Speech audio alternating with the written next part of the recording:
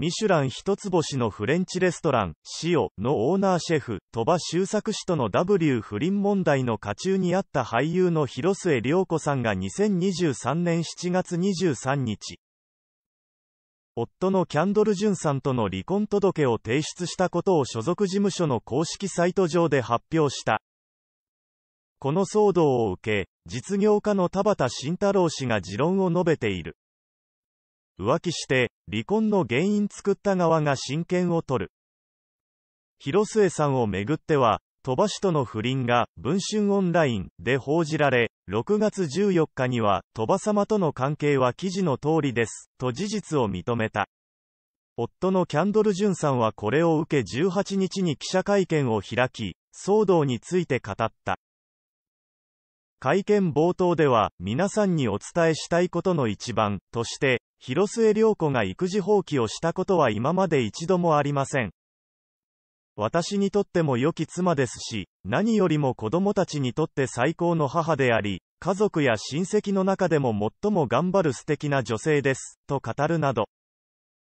一部報道で、育児をおろそかにしている、などと批判を受けていた広末さんを擁護するような発言をしていた。離婚は避け、家族で暮らしていきたいという希望を口にしていたキャンドル・ジュンさん。しかし、騒動に関しての子供たちの様子について、広末さんが、パパとママは離婚するけどどっちと暮らしたい、と言い始め、長男や次男はママのことを守らなきゃというのもあるから、ママといるよ、と。末っ子はただ泣くばかりで、と明かし、苦しい状況にあるとしていた。広末さんの所属事務所、フラームは23日、広末さんのメッセージを掲載し、私事ではありますが、私と広末淳さんとは話し合いをした上で、離婚することに合意し、離婚届を提出いたしました、と報告した。子供たちの親権につきましては、私が親権者として、これまで通り子供たちと一緒に生活することとしています、とも明かしている。実業家の田畑氏は離婚を報じるネットニュースを引用し、浮気して、離婚の原因作った側が親権を取る、と反応した。続くツイートでは、男女平等だよね W と書き込んでいる。田畑氏のツイートには、母親が親権においては有利なのは仕方ないですが、なんだかんだすっきりしないですね。浮気と親権は別物、子供の意思もあるだろうから、一様に解決しがたい問題ではあるよな、など賛否が相次いだ。以下は、ネチズンのコメントをまとめたものです。子供の立場を考えたら、意見表明権もあって、尊重されるべき。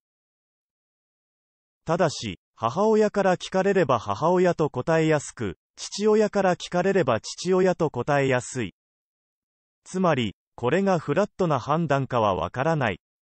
あと、広末涼子の言動から一切の反省も感じられない。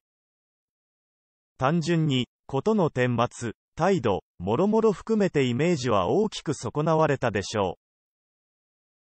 正直、どちらに親権が行くかなどそれほど大きな問題ではないです。それよりも、子供がいて離婚をする場合、パパとママ、どっちという残酷な選択を子供に迫らなければならない単独親権制度の方が大問題です。子供にとってはパパもママも大切なのに子供がかわいそう。